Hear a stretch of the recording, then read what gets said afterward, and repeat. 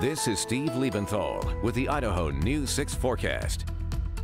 What a beautiful Sunday afternoon. Great opportunity to open those windows and let some nice fresh air into the house. Sunshine, blue skies, but just a few high clouds starting to creep into the picture. Here's a look at Boise now, uh, looking to the east from the top of the Red Lion Hotel. And we don't see those clouds from this view, but Earlier in the show, we saw a few high clouds approaching from the west. 71 degrees right now at the Boise Airport. It is a bit breezy out there, but that feels pretty nice right now. 73 in Mountain Home and 76 is the temperature in Ontario. Hailey up to 64 degrees and low 70s in the Magic Valley as well. If you're headed out this evening, beautiful evening, we expect to hit 72 degrees over the next hour or so and hover in that range at least through 7 o'clock, still around 70 degrees at 8 and even by 9 o'clock, 66 degrees, but you notice those clouds starting to develop. Look at the temperatures throughout the southwest. That uh, reading in Los Angeles is actually wrong, but focus on Phoenix right here. It's 101 degrees in Phoenix right now.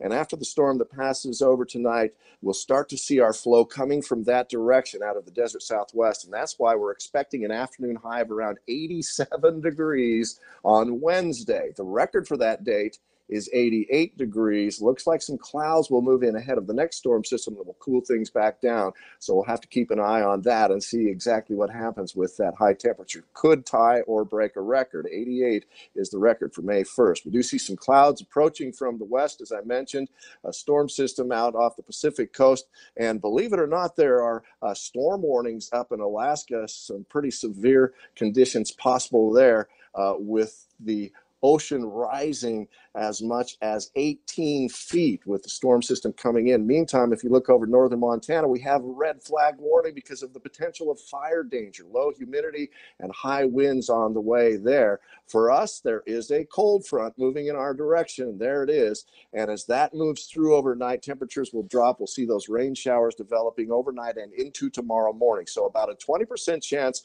of some morning showers. It will be breezy behind that front as well, and a little little bit cooler than it has been the last couple of days. 68 is our forecast high for Boise after a morning low of 51.